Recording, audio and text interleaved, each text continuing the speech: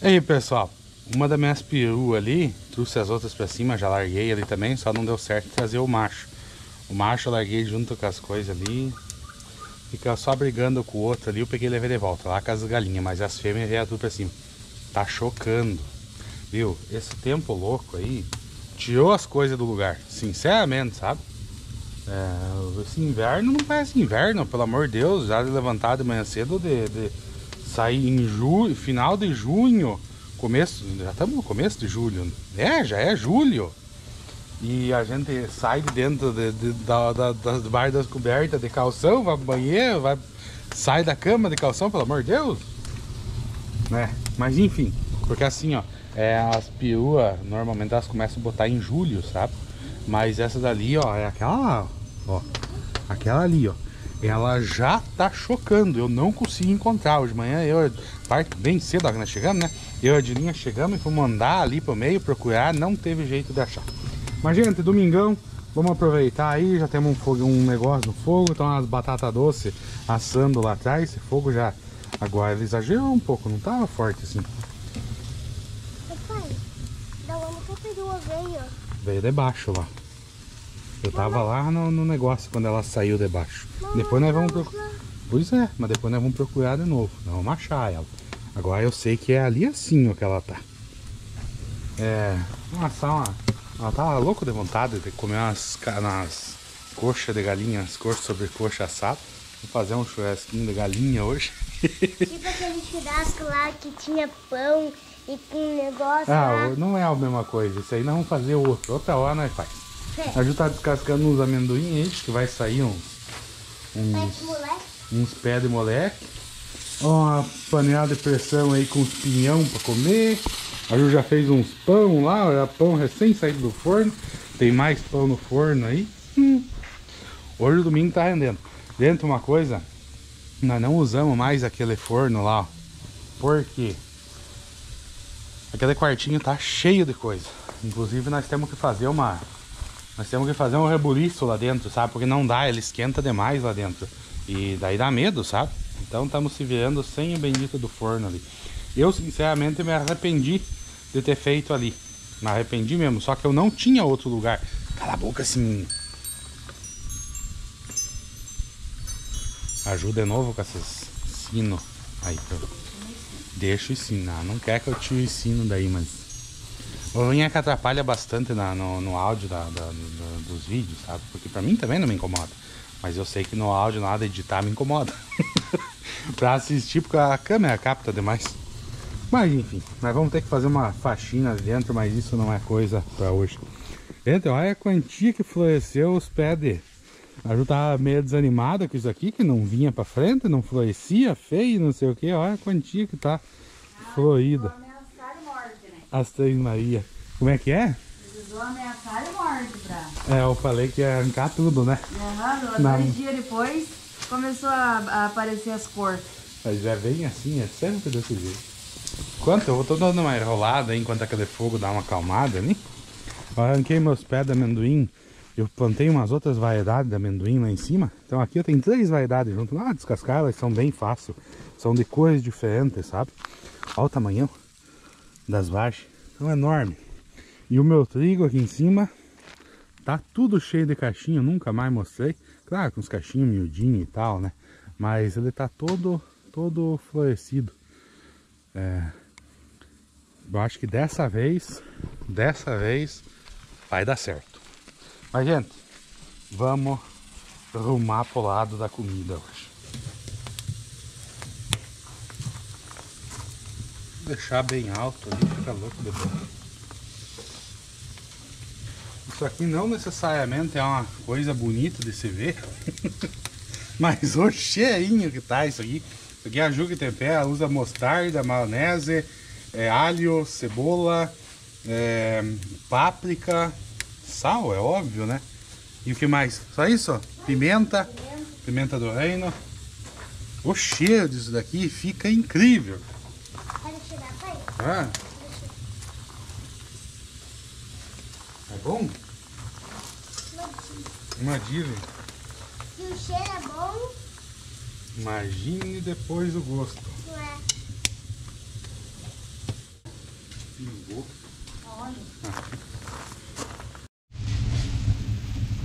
Olha que coisa mais bonita que fica isso aqui. Hum, na labareda. Tem que ser assim, ó. Não, vai ficar bom demais, vocês vão ver. Vão ter que acreditar em nós, dizendo que ficou bom, né? Mas fica bom demais. O Caio já chegou com as mandiocas aí, as mandioquinhas novas.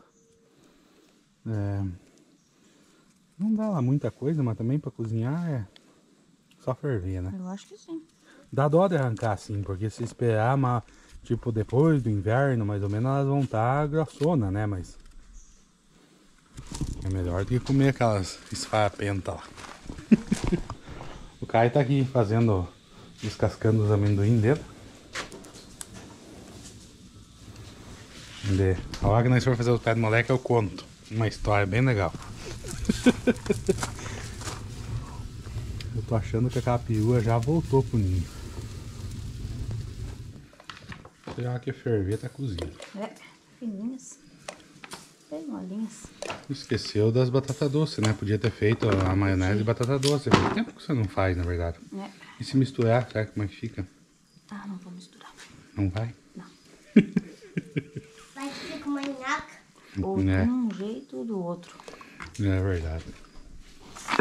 Aí ninguém precisa comer. Nem a mãe. Ai, que quente. Tá louco de esse espinhão já. Então todo mundo enchendo a barriga.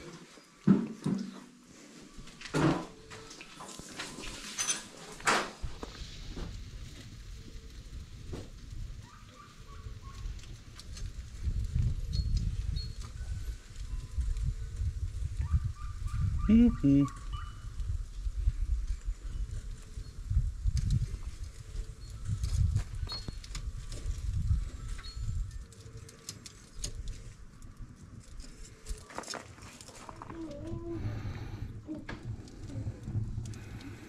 Vamos clarear essa imagem. Fica mais escuro que é. Mas não tá queimado nada. Tá tostado e crocante. Ó, vocês podem ver aqui, ó.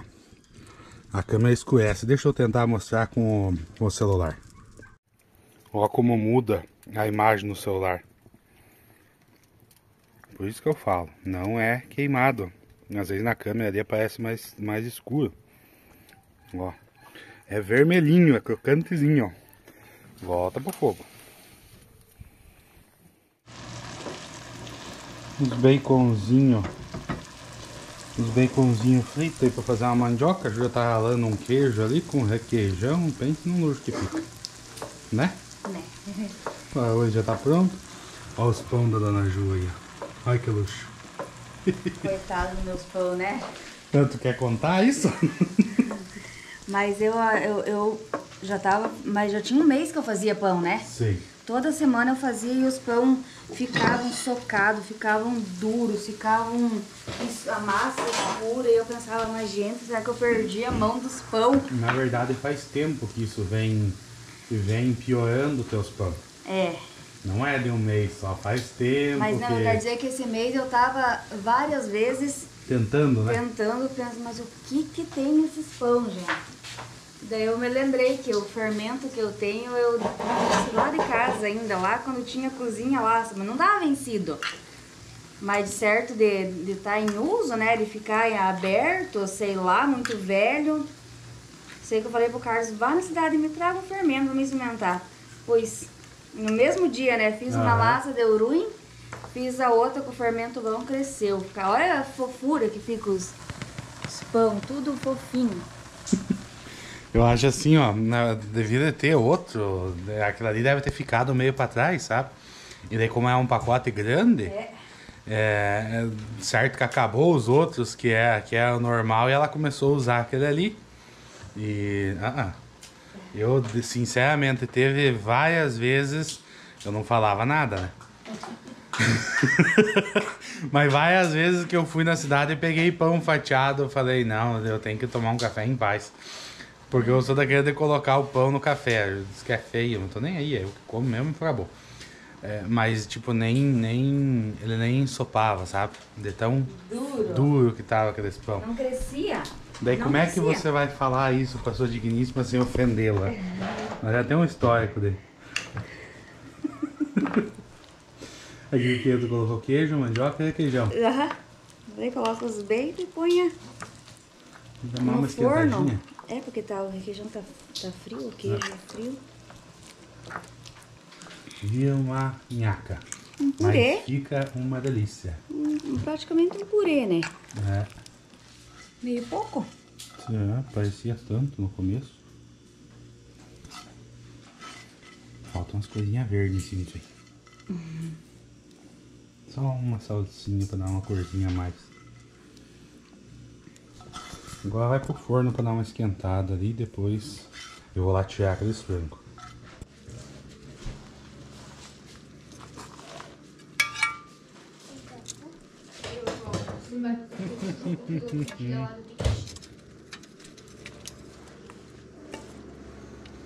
Olha o barulho de gente fazendo silagem.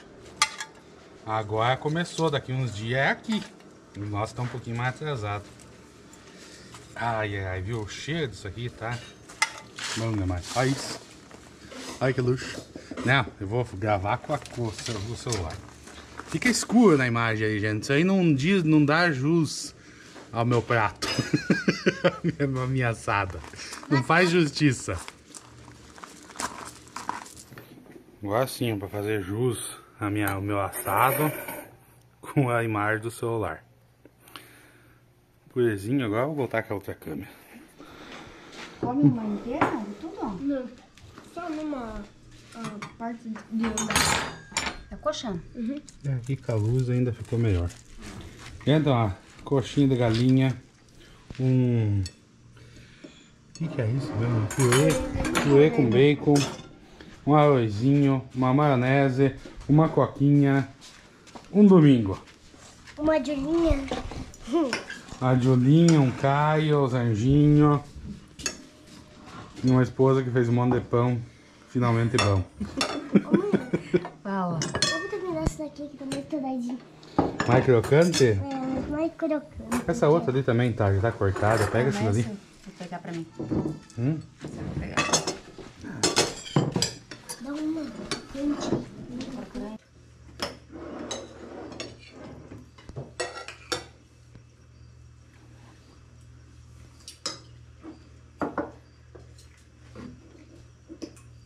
Fica gostoso a carne de frango também, bem assadinha assim. Né? E bem crocante. Também.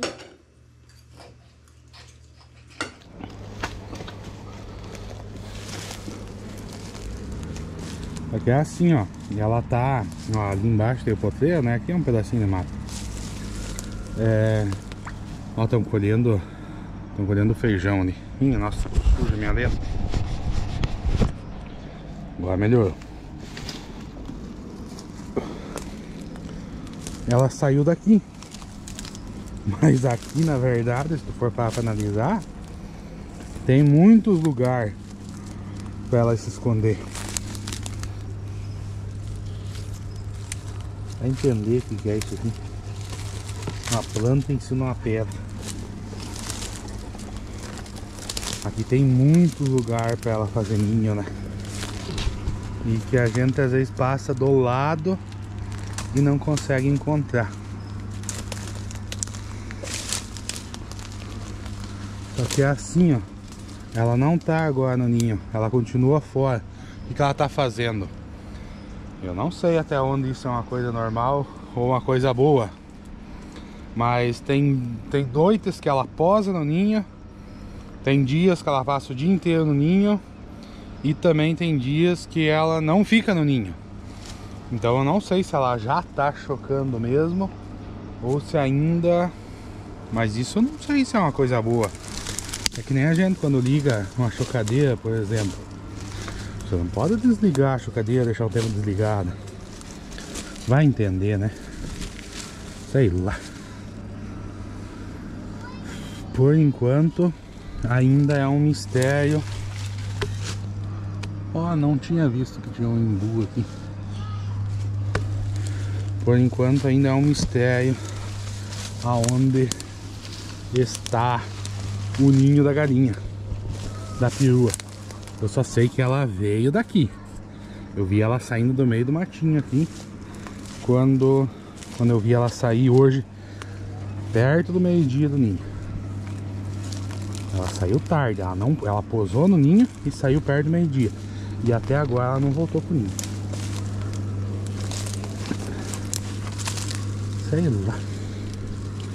É muito lugar pra se esconder.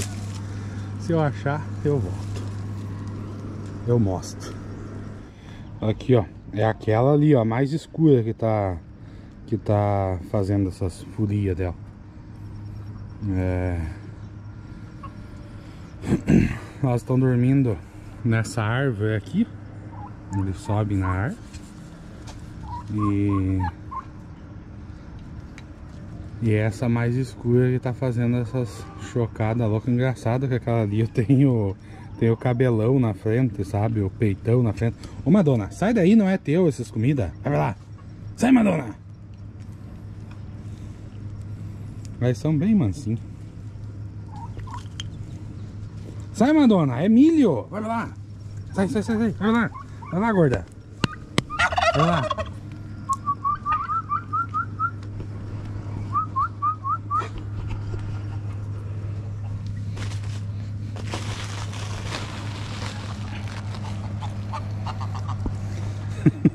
Olha a situação daquela água, gente. Não, é só para eles nadar, né? Como eu falei aqui, ó, tem água, inclusive já sujar ali também. Tem que trocar aquela água. Tem a água e tem a comida deles ali. Ó, mas tá bebendo água lá. É uns porcos, esses, esses gansos também. Eu não sei se eu vou deixar eles muitos dias aqui. Eu quero que eles se acostumem, sabe? Quero que eles se acostumem com a, com a casa deles. Aí eles saber que aqui é a casa deles, que é o lugar deles ficar, sabe? Depois provavelmente eu vou soltar. Sei lá, vamos ver. Isso aqui eu posso colocar as galinhas aqui dentro, eu posso fazer um monte de coisa. A ideia é que eles fiquem aqui dentro, né? Mas vamos ver.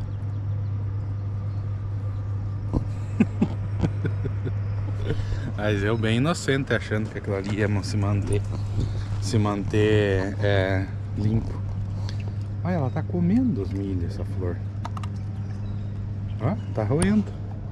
Tá dele é roer os milhos. Os coelhinhos tudo tratado, comendo os pastinhos deles. Isso aí. Domingão chegando ao fim. Daqui a pouco nós temos aquele resto de comida lá pra comer. Uh, matava uma delícia aquilo lá. Gente do céu, aquele tipo de tempero ali pra, pra frango, assim, pra, achar, pra assar umas coxas sobre coxa. Fica uma beleza. Fica bom demais. Mas, gente, é isso daí. Estamos chegando ao fim de mais um domingão. Amanhã nós voltamos pro nosso serviço de boa. Mas não consegui encontrar o bendito do ninho da perua. Tem que ficar de olho. Daqui um dia aparece com 22 piozinhos mais ou menos. Beleza, pessoal? Vamos em frente. E até o próximo vídeo.